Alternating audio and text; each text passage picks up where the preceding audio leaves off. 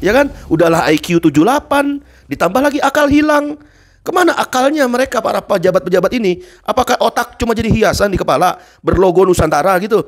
Cuma jadi hiasan doang, jadi pajangan doang, jadi aksesoris doang di kepala. Nah, uzubillah min zalik. Jika kalau pikir-pikir, mau halal mau haram itu yang menentukan hanya Allah Subhanahu wa taala. Gimana sih? Dalam Al-Qur'an minuman keras ini disebut khomer. Diambil dari kata khomaro. Para ulama mengatakan bahkan ketika menjelaskan diharamkannya khomer, li'annahu khomarul akal. Karena itu menghilangkan yang namanya akal, ya kan? Nah, apakah otak pejabat kita ada di dengkul? Apakah otak pejabat kita nggak ada atau ada? Komentar dah tuh di kolom komentar. Darun Nadwa itu dulu sebelum pemerintahan Quraisy itu parlemen kapi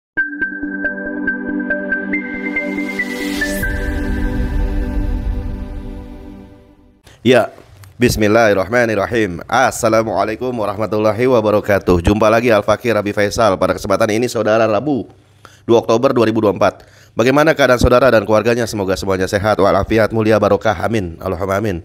Amin ya rabbal alamin. Masih panjang umur perubahan, panjang umur perjuangan.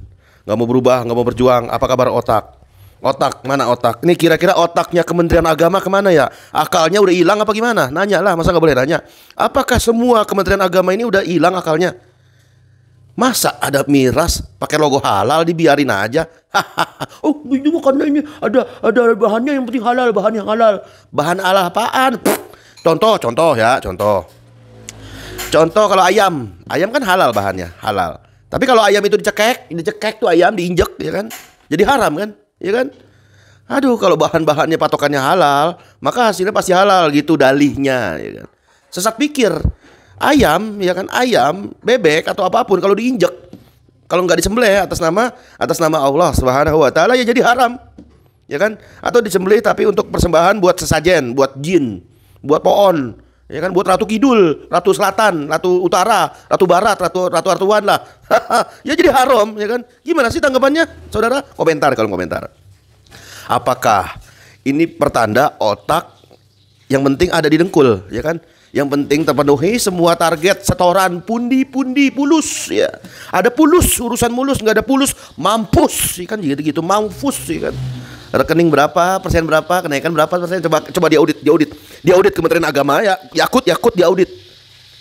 Kekayaannya kenaikan hartanya sekarang itu berapa? Sampai seberapa? Nanti kalau nanti miras dibilang halal, Nanti ada korupsi halal, dana haji halal ya kan diambil halal maling, maling halal. Ngeri kan? Narkoba halal, ya kan? Fufu fafa halal, pelacur halal, maling halal, korupsi halal, zina halal. Karena yang lakukan zina adalah toko ormas, jadi halal. Ngeri, ngeri. Apakah begitu? Ini saudara ada berita nih. Kementerian Agama bla bla bla, ya aduh, menanggapi respon dari MUI Penjelasan Kementerian Agama soal produk bir, wine, dan tuak yang dapat sertifikat halal. Apa nih penjelasan Kementerian Agama? Kita lihat saudara.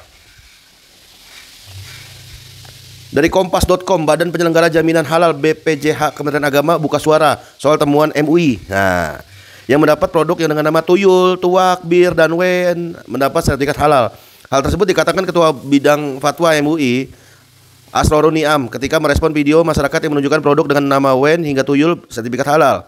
Nah, menurut Kepala Pusat Registrasi dan Sertifikasi Halal BPJPH, Muhammad Slamet Burhanuddin ya, bukan Slamet Mulyono, Slamet Burhanuddin, persoalan tersebut hanya berkaitan dengan penamaan bukan soal kehalalan produknya. Oh soal nama, iya soal nama. PSK halal bisa dong, kan nama doang ya kan bisa ya. Oh iya iya iya. Soal apa nama doang, nama doang ya kan berarti kayak model di Betawi gitu ya, bir peletok gitu ya. Ternyata bukan bir tapi minuman ya kan. Ternyata begitu ceritanya menurutnya gitu kan. Nah, dia mengatakan masyarakat tidak perlu perlu meragukan produk yang telah sertifikasi halal karena sudah terjamin kehalalnya. Kehalalannya sudah terjamin. Jamin siapa? Dijamin manusia, dijamin akalnya manusia terus jadi dia akal-akalin gitu. Apakah begitu? Dijamin siapa? Yang berhak menentukan halal haram Allah Subhanahu wa taala, bukan siapa pun, bukan Kementerian Agama, bukan BPJPH dan lain sebagainya macamnya. Nah, di sinilah butuh ijtihad, butuh seorang mujtahid, butuh seorang ulama yang fokus dibahas di soal ini. Ya kan? Bagaimana faktanya gimana? sumbernya dari mana, ini produknya dari mana, ya kan? Terus proses pembuatannya buat apa, dari apa, pakai sarana apa. Nah di sinilah butuh ketelitian dari seorang ulama harusnya. Jadi ulama itu jangan jadi stempel doang. Stempel apa nih? Apa nih? Ada apa nih? Ada produk. Ah, stempel stempel halal. Ada produk-produk halal. Stempel stempel halal. Ini bukan stempel doang ulama mah. Harus bisa mengkaji dan juga mentelaah. Mentadaburi lah minimal maksimal lah. Diteliti itu ya kan dikeker-keker tuh, dikeker-keker ya kan. Kayak seorang dokter itu kan dikeker-keker ya kan. Nah, menurut laman resmi Kementerian Agama, karena telah melalui proses sertifikasi halal dan mendapatkan ketetapan halal dari Komisi Fatwa MUI atau Komisi Fatwa Produk Halal sesuai mekanisme yang berlaku. Sertifikasi produk halal sudah diatur. Mamat nambahin soal penamaan produk halal sebenarnya sudah diatur dalam regulasi SNI tentang persyaratan umum pangan halal. Nah, selain itu, Fatwa MUI nomor 44 tahun 2020 tentang penggunaan nama bentuk kemasan produk yang tidak dapat disertifikasi halal juga mengatur soal penamaan produk halal. Nah, penamaannya juga diatur produk halal. Jadi pengajuan sertifikasi halal juga bisa dilakukan jika tidak sesuai dengan etika dan kepatutan yang berlaku di masyarakat. Tidak demikian, Mama tidak memungkiri bahwa masih ada nama produk yang tidak sesuai SNI dan tidak sesuai fatwa MUI, namun bersertifikat halal. Hal ini terjadi karena masing-masing memiliki pendapat beda-beda terkait penamaan produk. Hal ini dibuktikan dengan data kami di si halal yang produk WEN contohnya tadi dapat sertifikat halal diterbitkan ketetapan halal Komisi MUI itu berjumlah sebanyak 61 produk ya BPJPH juga menemukan produk UN yang sertifikat halal diterbitkan berdasarkan ketetapan halal Komisi Fatwa MUI sebanyak kurang lebih 8 produk. Nah, disampaikan juga untuk produk dengan nama gunakan dua kata tadi yang ketetapan halal dari Komisi Fatwa MUI adalah produk yang telah melalui pemeriksaan atau pengujian oleh LPH dengan jumlah terbanyak berdasarkan LPH LPPOM sebanyak 32 produk, selebihnya dari lembaga lain. Nah, apa pun perbedaan pendapat kalian ya kan mau PPBJH kayak Kementerian Agama kayak mau MUI kayak apa pun perbedaan pendapat, beberin aja, beberin.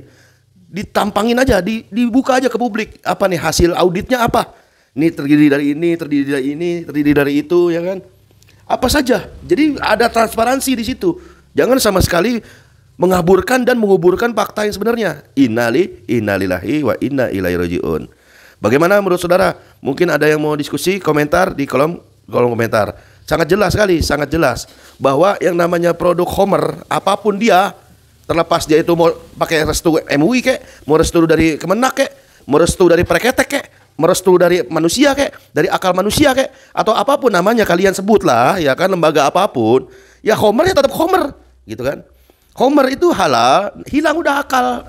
Ya kan? Udahlah IQ 78, ditambah lagi akal hilang. Ke mana akalnya mereka para pejabat-pejabat ini? Apakah otak cuma jadi hiasan di kepala berlogo Nusantara gitu? Cuma jadi hiasan doang, jadi pajangan doang, jadi aksesoris doang di kepala. Nah, udzubillah min zalik. Jika kau pikir-pikir, mau halal itu yang menentukan hanya Allah Subhanahu wa taala. Gimana sih? Dalam Al-Qur'an minuman keras ini disebut khomer. Diambil dari kata khomaro Para ulama mengatakan bahkan ketika menjelaskan diharamkannya Homer, li'annahu khomarul akal, karena itu menghilangkan yang namanya akal, ya kan? Nah, apakah otak pejabat kita ada di dengkul? Apakah otak pejabat kita nggak ada atau ada? Komentar dah tuh di kolom komentar.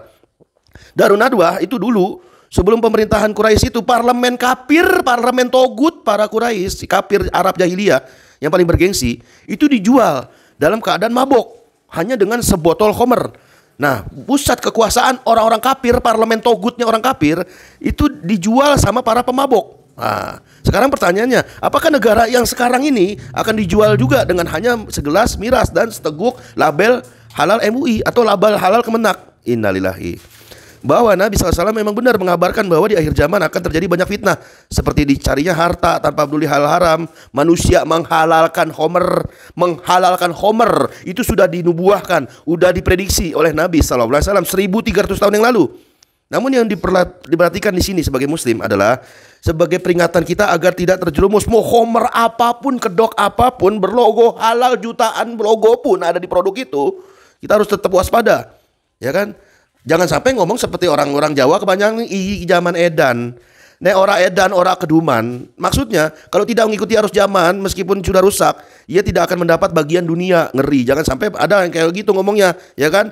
Iki zaman edan, nek ora edan, ora keduman, ya kan? Nggak nggak ada keduman-keduman, ya kan? Lawan arus kan gitu harusnya. Bukan seperti itu. Muslim itu bukan yang ikut arus, tapi orang yang lawan arus. Nabi Musa lawan arus ke Firaun, ya kan? Nggak ikutin arusnya Firaun, ya kan? Dan banyak kisah-kisah lagi yang lain. Nabi Ibrahim lawan arus kepada Namrud, ya kan? Nggak ikut aturannya Namrud. Nah, kita lawan arus gitu kan. Karena itu kebiasaan para nabi dan rasul lawan arus, bukan ikut dan tunduk iya iya aja pada apa realitas dan kehidupan apa yang ada. Apalagi yang datangnya dari penguasa. Iya iya aja kagak bisa begitu ceritanya. Nah, bahkan akal kalau udah dirusak sama Homer, ya kan? Itu jadilah orang-orang yang seperti apa? Seperti binatang. Udah nggak ada lagi taklif syariah itu udah hilang. Diangkat pena orang-orang yang hilang akal. Ya kan ngeri kan? Ngeri. Pasrah jadinya ke mana arus laut membawa. Yang penting ikut arus. Padahal yang ikut arus itu udahlah jalanan aja hidup, ngalir aja hidup.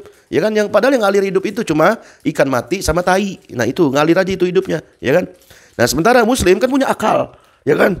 Kalau udah nggak punya akal, udah minum khamar itu bahaya.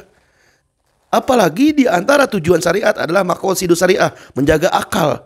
Nah yang menjaga akal nih hizbu akal ini adalah negara. Bukan ormas, bukan MUI, bukan Kementerian Agama, tapi negara di dalam sistem pemerintahan Islam. Nah itulah hizbu akal, menjaga akal. Dan ini hanya bisa terjadi diwujudkan dengan adanya negara yang berdasarkan pemerintahannya seperti Rasulullah Sallallahu Alaihi Wasallam dan para sahabat. Jangan gara-gara miras disebar lewat negara, lewat undang-undang, lewat aturan, lewat label, habelan, halal, halalan MUI, maka hilang akan hilang akal akan menyebar. Jangan sampai kayak gitu. Udahlah IQ 78, hilang pula akal. Bila manusia bangsa ini hilang akal, maka yang bekerja lagi bukan manusia, tapi binatang yang menyerupai manusia. Inilah yang disebut oleh Allah Subhanahu wa taala ulaika kal an'am adhal. Mereka menjadi seperti binatang, bahkan lebih sesat lagi. Ngeri, ngeri. Benar, dengan hilangnya akal, manusia tidak saja berperilaku seperti binatang, mereka akan melakukan tindakan yang melebihi binatang. Contoh, contoh pernikahan sesama jenis itu manusia ada, tapi di hewan nggak pernah ada. Anjing seanjing anjingnya anjing yang paling anjing itu nggak ada anjing laki-laki nikah dengan anjing laki-laki nggak ada. Tapi manusia ada, ada.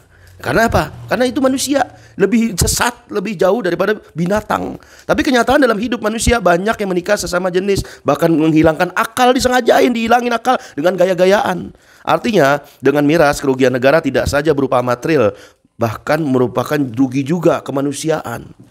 Hilanglah semua manusia, punah sudah. Kasihan bener, miris. Udah IQ 78 ditambah pulang hilang akal. Apa kabar otak? Wassalamualaikum warahmatullahi wabarakatuh.